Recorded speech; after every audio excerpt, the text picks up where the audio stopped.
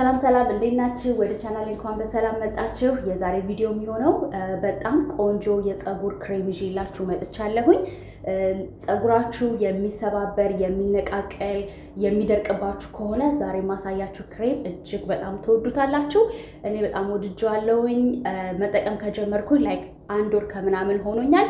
ለእናንተ ግን ወዲያው መንገር አልፈለግኩም። ምክንያቱም በራሴ ላይ ሞክሬ ለውጥ ሳይበት ነው ለእናንተ ማካፈል የፈለግኩት እና በጣም ለውጥ አይቼበታለሁኝ። ለእኔ ይስማማኛል ማለት ደግሞ ለእናንተ ይስማማችኋል ማለት አይደለም። ግን ብትሞክሩት ምንም አይነት ችግር የለውም። በውስጡ ያለው ማንኛውም የተሰራበት ነገር ተፈጥሯዊ ነገር ስለሆነ ለፀጉራችን በጣም ቆንጆ ነው። እኔ ብቻ ሳልሆን ብዙ ዩቲዩበሮች መስክረውለታል ማለት ነው። እና ክሬሙ ይሄንን ይመስላል። የሚዘጋጀው ከቸቤ powder ነው። የቸቤ powder ሰምታችሁ የምታውቁ ከሆነ ለፀጉር በጣም ቆንጆ ነው። ፀጉራችን ያሳድግልናል። ፀጉራችን moisturize ያደርግልናል። እንዲሁም እንዳይሰባበር እንዳይነቃቀልና ጤነኛ ፀጉር እንዲያድግልን ይረዳናል ማለት ነው።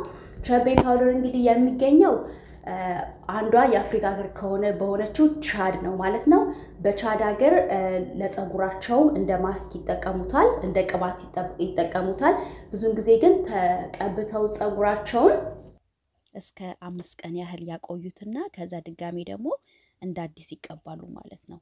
እና እንደምታየው ፀጉራቸው ጥቁረቱ፣ ርዝመቱ በጣም ያምራል እና ይሄ የሚስጥራዊ በተፈጥሮ ፀጉራቸውን የሚንከባከቡበት ዘዴ ነው ማለት ነው።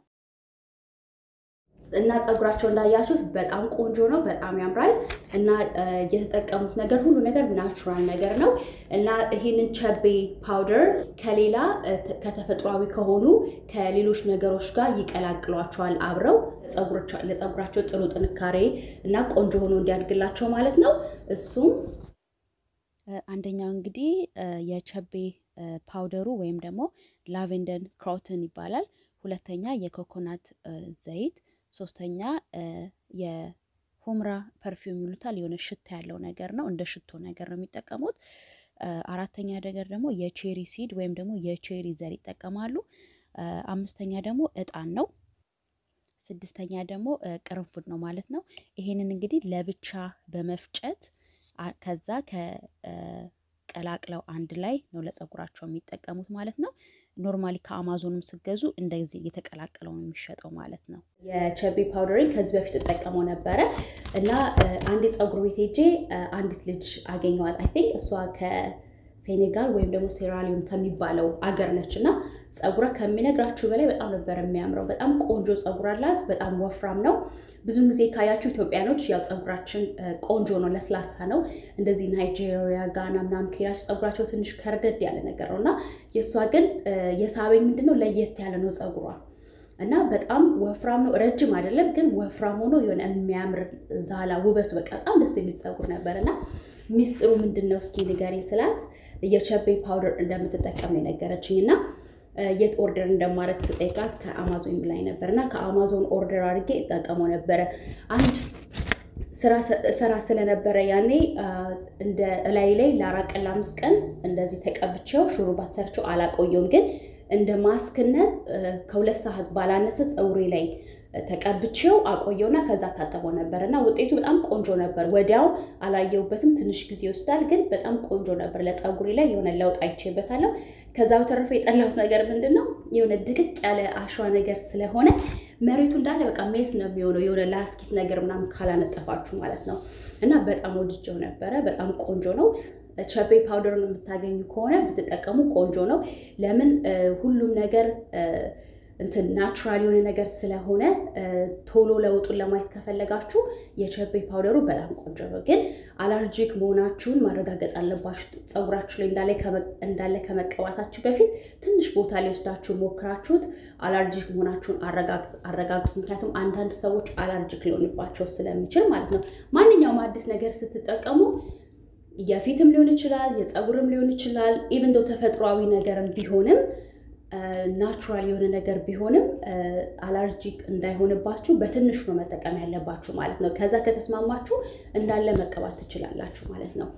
እና በጣም ወድጀው ነበረ እና ከዛም በኋላ ግን እንደ አጋጣሚ research ሳደርግ ቅባቱ ወይም ደግሞ ክሬሙን እንደሚሸጡ ሰማሁ ማለት ነው። እና ይሄንን order ያደረግኩኝ በጣም በጣም ከምነግራችሁ በላይ ቆንጆ የፀጉር ክሬም ነው። ብዙ ራሱ አይጠበቅባችሁም ፀጉራችሁን መቀባት፣ ትንሽ ወስዳችሁ ፀጉራችሁ መቀባት ማለት ነው። ልክ ፀጉራችሁን ታጥባችሁ ስትጨርሱ እርጥቡን እንዳለ ነው ቅባት መቀባት ያለባችሁ። ከደረቀ በኋላ ሳይሆን እርጥቡን እንዳለ የሚስማማችሁን ቅባት መቀባት ትችላላችሁ። ያኔ የምትቀቡትን ነገር አብዞርብ የማድረግ አቅም አለው ማለት ነው ከደረቅ ፀጉር ይልቅ።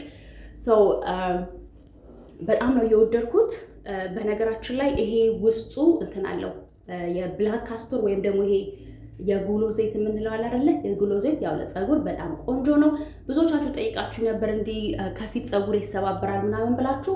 ከፊት ከፊት የሚሰባበር ወይም የሚሸሽባችሁ ከሆነ የጉሎ ዘይት ትንሽ ለብ አድርጋችሁ በውሃ ውስጥ በዕቃ አድርጋችሁ ውሃ ውስጥ ከታችሁ ለብ አድርጋችሁ እንዲህ ጥግ ላይ እንዲህ ዳርዳሩ ላይ በደንብ ተቀቡት፣ ያሳድግላችኋል። ከዚህ በፊት ቪዲዮ ሰርቻለሁ፣ ሄዳችሁ ማየት ትችላላችሁ። የጉሎ ዘይት አለው shea butter አለው፣ የኮኮናት ዘይት አለው፣ የቸቤ powder አለው ራሱ ቸቤ ማለት ነው። የካሮት ዘይት አለው። እንደገና ደግሞ የአብሽ አብሽ አለው፣ molasses አለው እና ብዙ ጠቃሚ የሆኑ የፀጉር ምግብ በሉት ሁሉ ነገር እዚህ ያለው። ከዚህ በፊት የአብሽ ማስክ ሰርቼ አሳይቻችኋለሁ። ከዚህ በፊት I think የመጨረሻው ቪዲዮ ላይ ነው መሰለኝ የአብሽ እንትን አሳየቻችኋለሁ ከእርጎ ጋር እንዴት መጠቀም እንደምትችሉ እሱም ራሱ በጣም ቆንጆ ነው። ነገር ግን ያልወደድኩት ነገር እሱ ምንድነው ሽታው በጣም እንትን አይልም። እንደነገርኳችሁ essential oil like lavender፣ peppermint መጠቀም ትችላላችሁ ትንሽ ሳታበዙ። ከዛ በተረፈ ከሽታ ውጪ ለፀጉር በጣም ቆንጆ ነው። እሱንም መሞከር ትችላላችሁ ማለት ነው። እና ይሄ በጣም የወደድኩት ከአማዞንም አላቸው። እኔ ግን order ያደረግኩት ከ Etsy ነው። የዚህን እንትን ከታች description ኑ ስር እጽፍላችኋለሁ ማለት Etsy ልክ እንደ አማዞን website ነው። ማንኛውንም ነገር order ማድረግ ትችላላችሁ።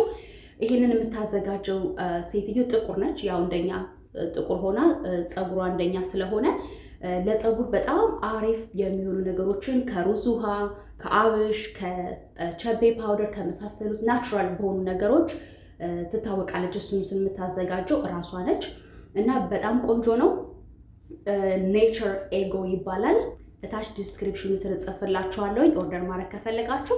በነገራችን ላይ ውድ ነው። ለዝች like four ounce 15 ዶላር ነው፣ ግን ለብዙ ጊዜ መጠቀም ትችላላችሁ። ብዙ ወስዳችሁ መጠቀም የለባችሁም ማለት ነው። እና ይሄ order ሳደርግ ሁለተኛ ነው። ሽታው በጣም ደስ ይላል። like እንደ ሼአ በረር የሚሸተው በጣም ደስ ይላል። ይሄ ሁለተኛ ነው ማለት ነው ስገዛው በጣም ቆንጆ ነው። በዛ ላይ በጣም ወፍራም ነው። ላሳያችሁ እና ፀጉራችሁ እርጥብ ሆኖ ከተቀባችሁት ብዙ አይጨርስባችሁም። ደረቅ ላይ ሲሆኑ ቅባታችሁ ቶሎ የሚያልቅባችሁ።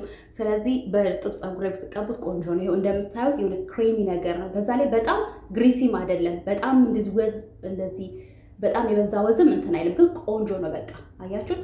እና ውስጡ የቸቤው እንደነገርኳችሁ ቸቤው እንደ ድቅቅ ያለ አሸዋ ነገር ነው እና still እዚሁ ስላለ ጥጥር ያለ ነገር አለው ማለት ነው። እና በጣም ቆንጆ ነው። እኔ በጣም የወደድኩት በዛ ላይ ፀጉራችሁን moisturize ነው የሚያደርግላችሁ ማለትም በቃ ወዝ ቆንጆ ወዝ ይሰጠዋል ማለት ነው።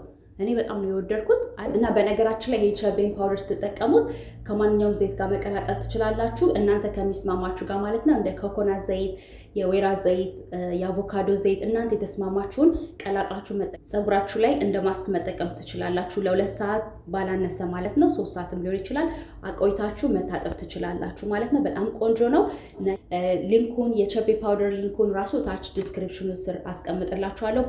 powder ሩን መጠቀም ከፈለጋችሁ ማለት ነው። በጣም ያልተስማማኝ ነገር ምንድን ነው? ከቸቤ powder ስቀባው ከቆዳዬ ጀምሮ ነው የተቀባሁት ማለትም ከስር ጀምሮ ማለት ነው እና ፎርፎር አውጥቶብኝ ነበረ።